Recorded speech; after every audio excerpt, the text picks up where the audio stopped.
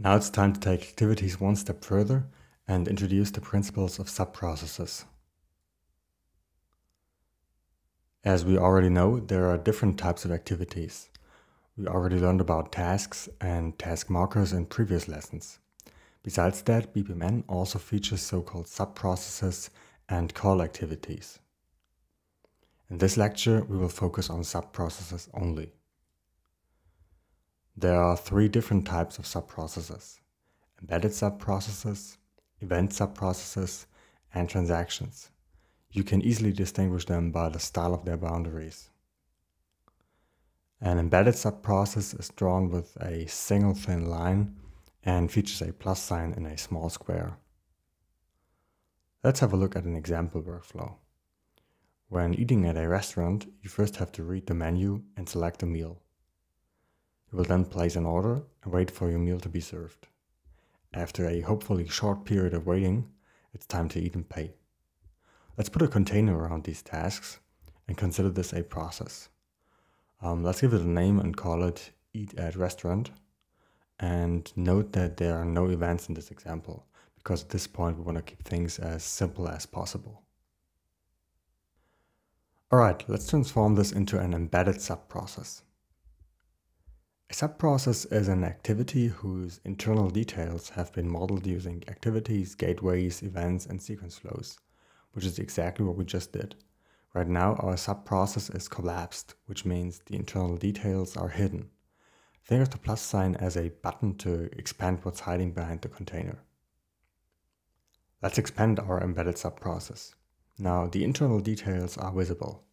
Embedded subprocesses can be very handy when trying to model complex and large workflows.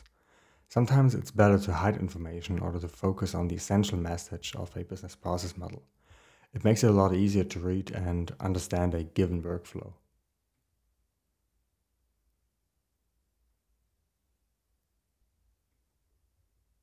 Next, let's have a look at event subprocesses.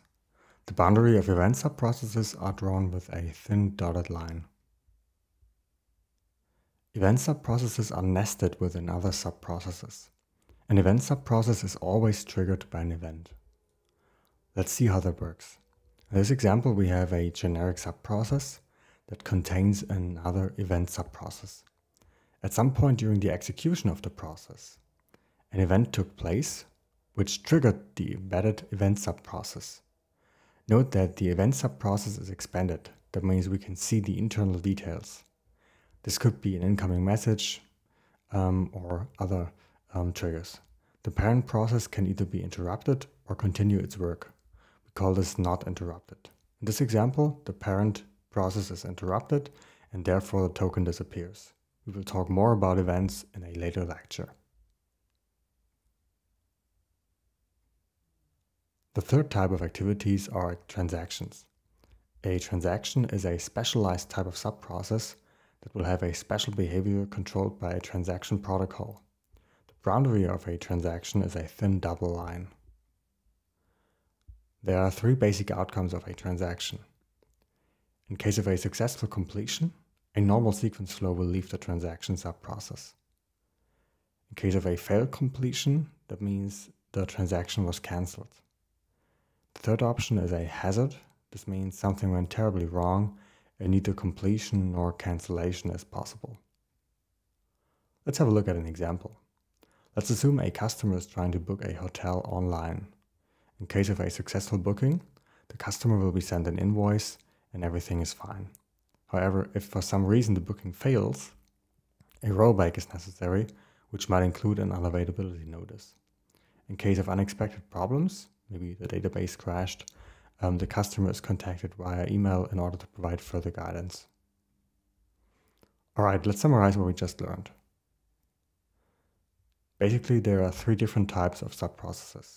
Embedded subprocesses, event subprocesses, and transactions. You can easily distinguish them by the start of their boundaries. Subprocesses are a great way of modeling more complex behavior within a regular process. The case studies at the end of this course are going to feature a lot of subprocesses so stay tuned.